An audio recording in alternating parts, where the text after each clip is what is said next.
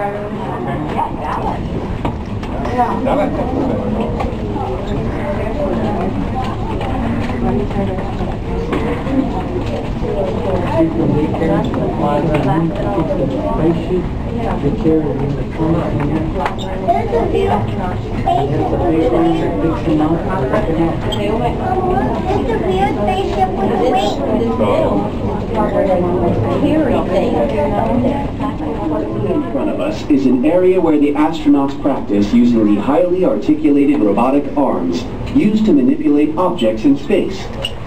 It is equipped with a shoulder with a yaw, pitch, and roll, an elbow with a single degree of movement, and a wrist with a yaw, pitch, and roll as well. Uh, the Building 9 station robotic manipulator simulates how we do operations on board the International Space Station. And in order to do that on Earth with the gravity that we have here, we have to use either things like balloons filled with helium, or we use very lightweight equipment that this arm can... one EVA. And an EVA is an extra vehicular activity, just another term for a spacewalk. We're going to go ahead next and uh, meet the crew and take a look at the highlights of their mission.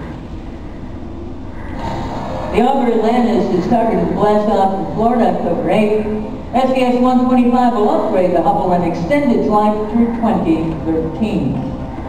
Commanding this mission is Scott Altman. Scott is a retired captain in the U.S. Navy.